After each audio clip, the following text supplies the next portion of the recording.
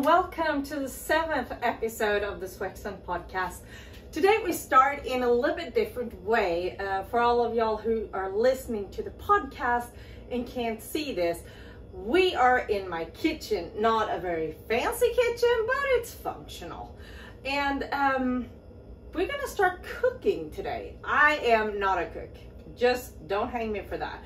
But um, I was anyway going to make this dish today I had in my mind, so I figured why not videotape it and bring it to y'all. Because it's a Swedish dish uh, that not many American has heard of, which surprises me uh, in one way, and um, because it contains bacon.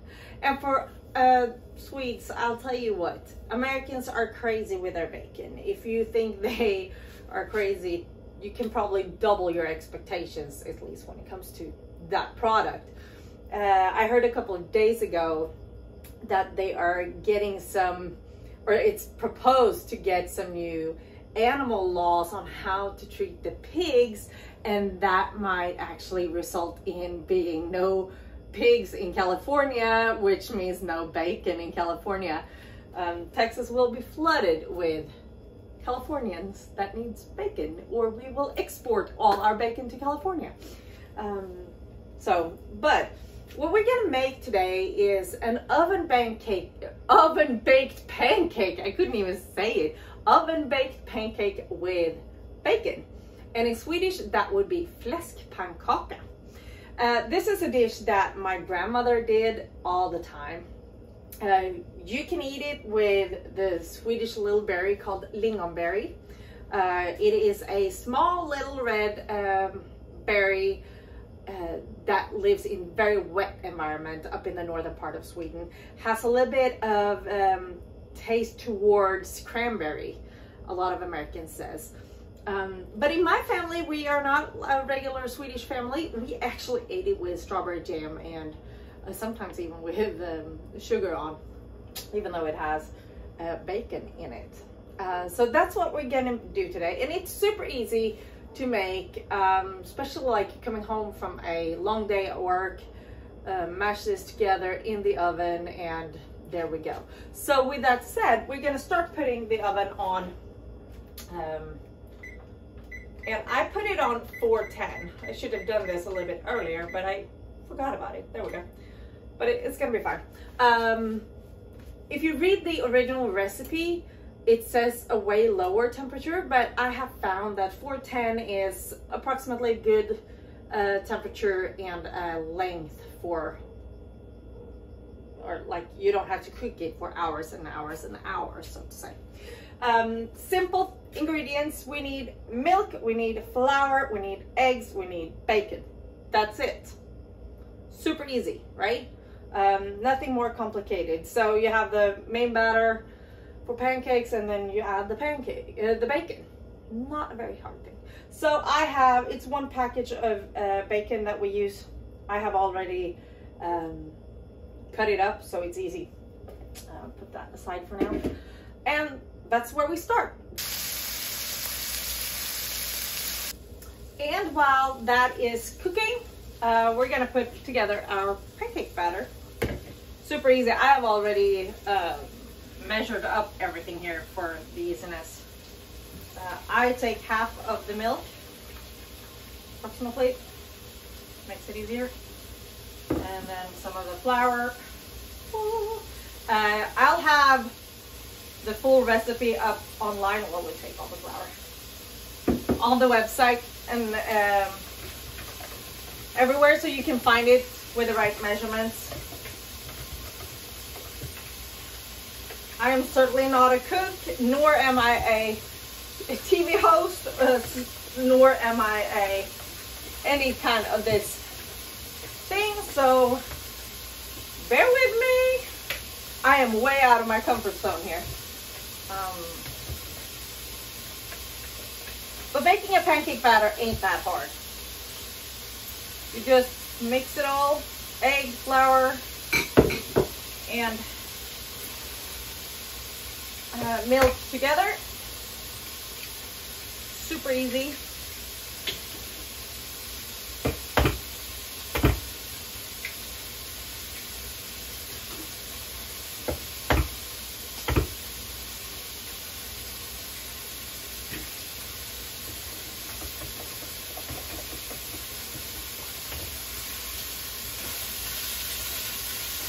And you just cook the bacon to whatever hardness you want. Do you smell this? Of course you don't, but you can imagine. There is always this kind of like conversation in Texas, how crispy you want your bacon made, okay? Um, make them as just like a tad under the crispiness you usually want them. Uh, you probably don't want them too crispy uh, in here just because you're making the pancakes afterwards. Like, it's not pancakes, but it's oven baked pancakes. Then you take whatever you have at home to put it in. Do that way.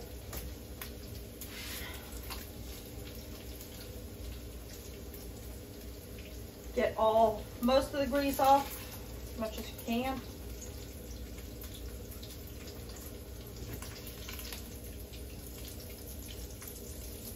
And you just fill the bottom of your form. I don't dry the bacon because it still gives a little bit, you need some of that bacon grease um, in there. It's always good, but you don't need all the extra. Just shake it off a little bit.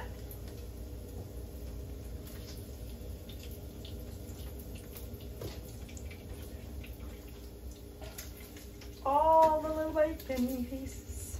So you put that in the very bottom of it. And if you're a vegetarian and you want to have anything else than bacon, um, you can put whatever you want in here. It doesn't have to be bacon, actually. Um, whatever you like to, to have. Um, and if you just want to do a oven baked pancake without anything, just the batter in the pan, that works as well. Absolutely, I've done that several times. But now we're a little bit Swexan, so we do it with bacon.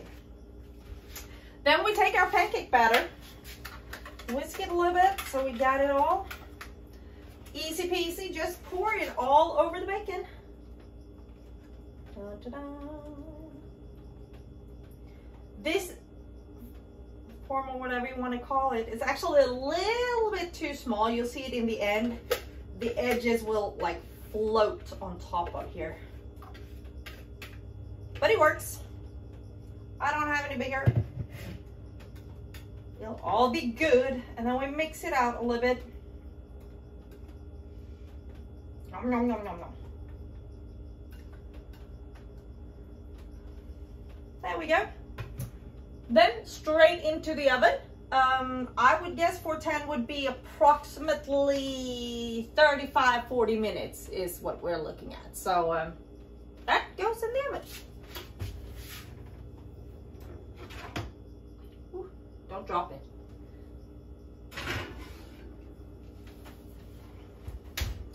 And now we wait.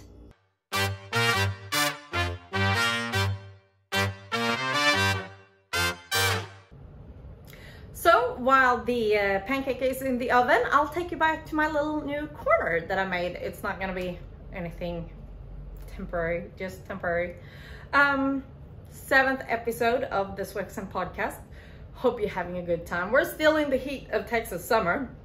It is supposed to be about 97 degrees Fahrenheit today, and that is around 36.1 Celsius. But the heat index again up close to 104, and that's around 40 degrees Celsius. It's hot. It is really hot because um, it's no wind. Right now we have really no wind and just blazing sun. So that's what we have to deal with for a couple of more weeks. Just welcome to Texas. If you like heat, Texas is the place to be in July, August, absolutely. The Olympic Games has come to an end. Uh, they have handed over the flag to Paris, France, where the Summer Games are going to be held in 2024.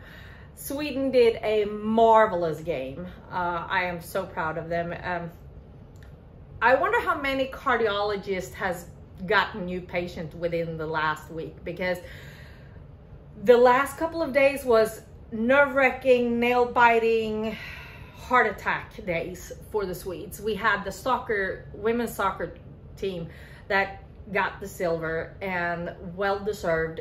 They were so close to the gold. They they wanted it so bad. It was just not their day that day. Sorry. Um, and once we had come over the loss of gold but win of silver, um, we had the equestrian show jumping team uh, final. And oh Lord, I'm into equestrian, so it, it's a sport close to my heart. I was not able to watch the final because I was at work at the time, but I followed it on social media and I could feel the nerves, the tension, the nervous from Sweden, from Tokyo, from all around the world. Uh, knowing that Sweden went into this as favorites and they kept it. They went all the way. Uh, Malin Baryard-Johnsson with Indiana, Henrik von Eckermann with King Edwards, and uh, Peder Fredricson with All In. What a team. What they did. Like, they had 262 jumps that they had to jump within the entire Tokyo. Only two rails fell two. That's nothing. Um, that's amazing. And uh, they have not won a team gold in 97 years. 97 years, that's a long time. A long, long time. They were well deserved it, well deserved it. And as uh, Aftonbladet, that's one of the major Swedish newspaper, uh, I think his name is Patrick Brenning, Patrick Brenning. Um, he wrote that we need to stop the Olympics now, like the Tokyo Olympics, because the Swedes have had enough, and I agree with that. it was too much. Um, if you are able to read what he wrote um, on Aftonbladet, go do that because it was hilarious. He wrote it so charming, so well done, wrapped up the Swedish equestrians performances very well. Um, but Tokyo Olympics is done, closed and all that, but we're coming to Paralympics. Paralympics is coming here in two weeks and think about it, they need as much attention as the Olympic Games does. They have obstacles that many of us will never ever be able to imagine and yet they are coming to the Olympic Games. Um, it's, it's gonna be fun to follow both Sweden and US and honestly I have no clue um, about either of the teams in the Paralympics, but it'll be interesting to follow anyway. And with Tokyo being postponed a year because of COVID, uh, that makes it a little bit like the next is coming up right on us. The Winter Games are actually coming back in six months. It's the Beijing Games. Um, Beijing is the first city who are allowed to have both summer and winter games. If you recall, they had the summer games back in 2008. And now they're coming back having the winter games. Um, sure, China can have winter if you didn't know that. Uh, absolutely, absolutely. And then, um, as I said before, Tokyo handed over the flag to Paris. Paris, France is going to have the summer games in 2024. And I've been following the medal count here at the Olympics. Um, gotta mention that US had 113 medals. Like that's a lot. That's a lot.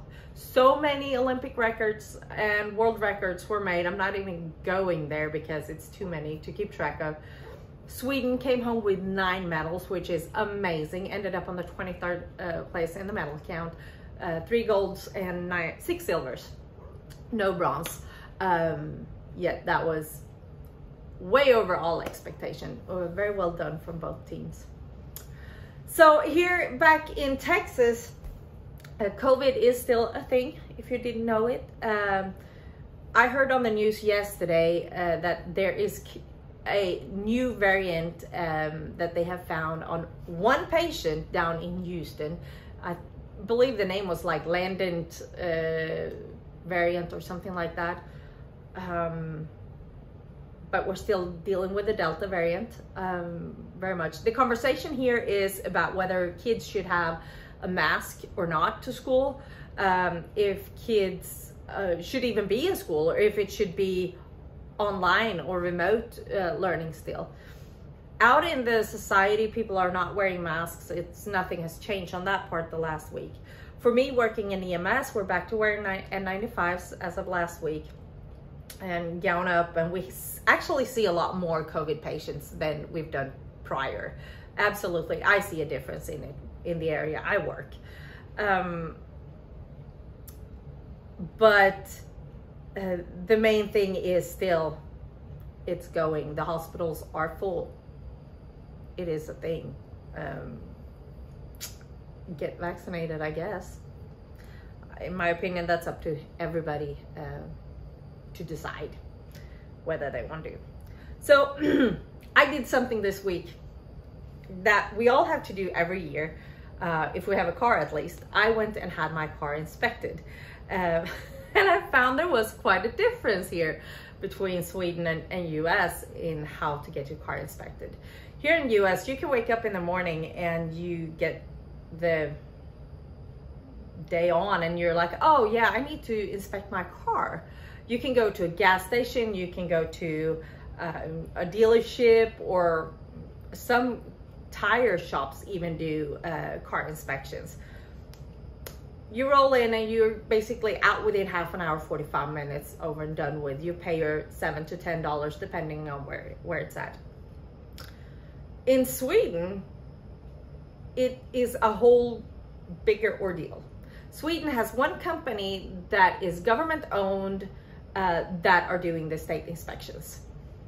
And um, that's convenient, you know, not a problem really, but you have to make your appointment over a month in advance to get it. So you can't really, like I did, woke up that morning and said, yeah, I need to uh, get my car inspected today. You need to have plan ahead way more.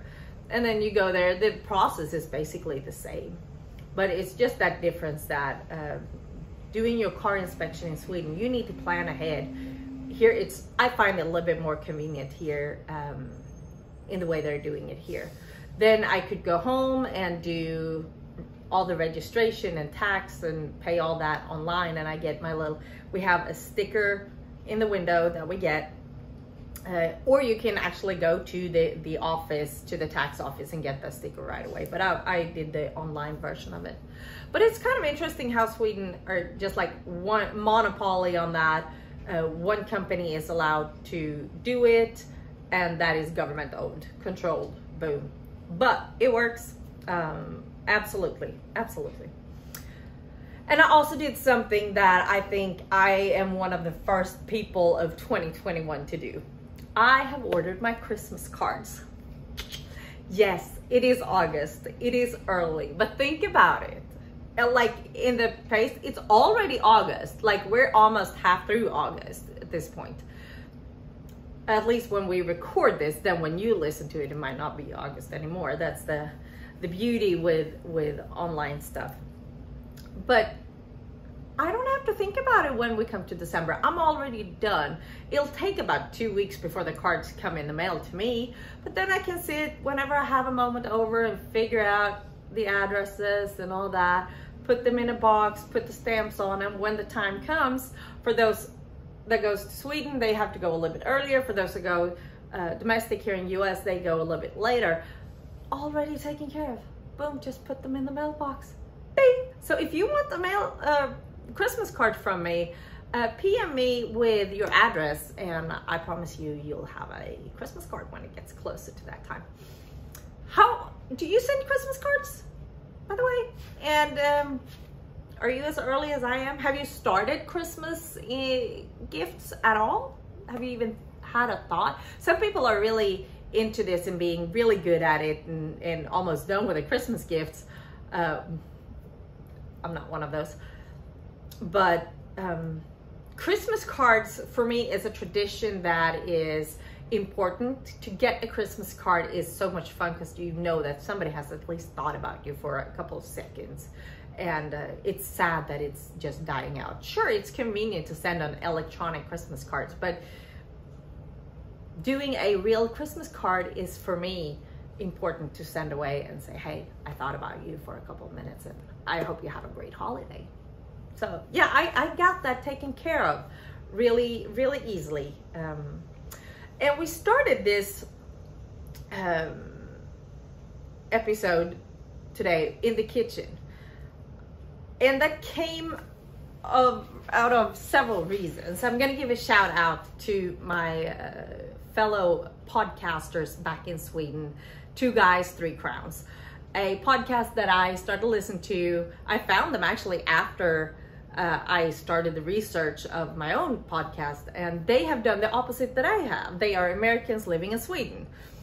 Um, and they have if you want to know how it is to live in Sweden listen to their podcast they're they're awesome but a I think two episodes ago they were talking about princess cake which is a Swedish uh, cake um, I love it and that's one of the things I miss I was sitting and drooling after a princess cake all day long at work but that made me think okay I need to cook something anyway. What should I cook and make that in here? So that's how it came with um, with doing the pancake today.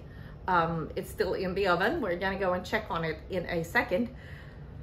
Um, but then in the same time IKEA has come with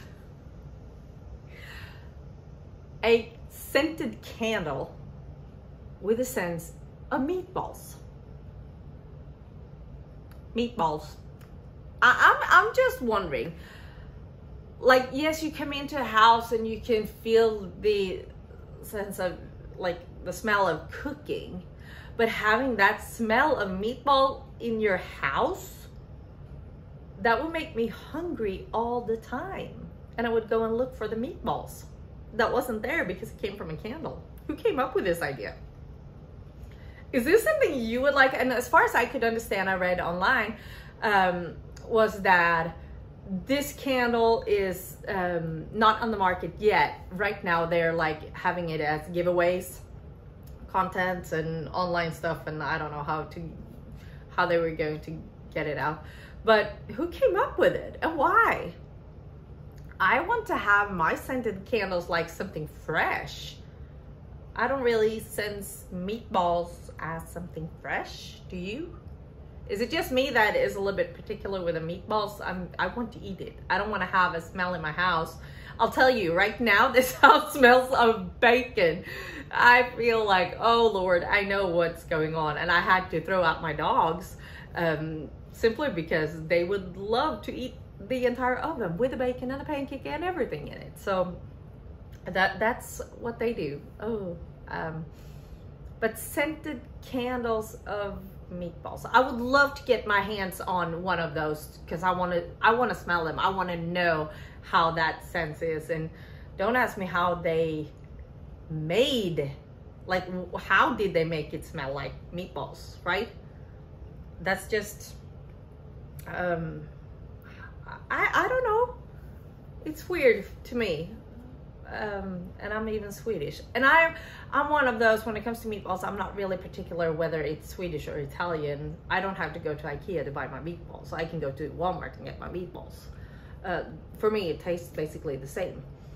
Um, so that leads us into the word of the week, which I'm going to take is meatballs.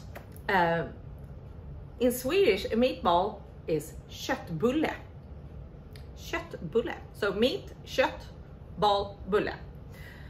And IKEA now to go back to that, um, you know, they name all the products in Swedish and they have named this candle huvudroll, which is um, directly what, what directly translated it is the main character in a movie or in a on a screen or in a play or something like that. It's the main part of, of a play. Um, but that's not what they thought of when they named it because huvud is a head roll is also to roll.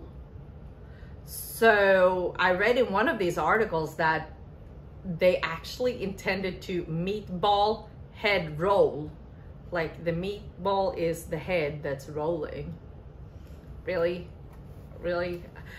I don't have another name for for the candle. The the whole idea of having a scented candle in a meatball sense, and then they make it the name huvudroll. Okay.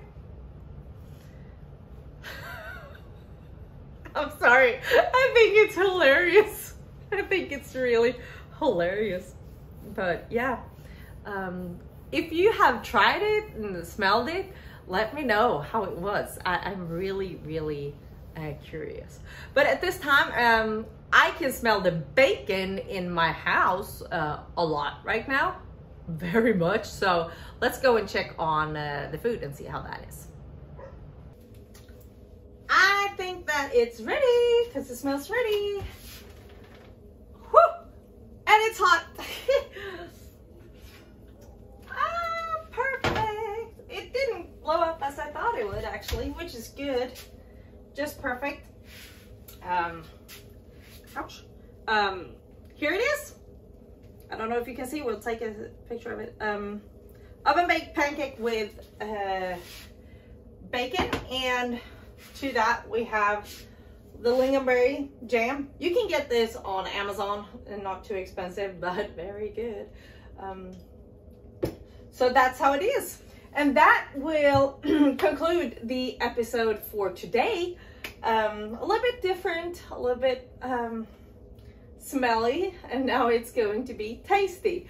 Um, let me know if you want me to cook something else uh, for you. As I said, I'm not a cook. I'm not a good cook at all. So why I did this, I don't know. But it was fun. And that's all that matters, right? Um, so we'll do something else next time. I have no clue when that's going to be. Until then, I hope you have a great time. Take care of each other. Take care of yourself. Eat well. Drink a lot of water, regardless of where in the world you are. Until next week, have a good time.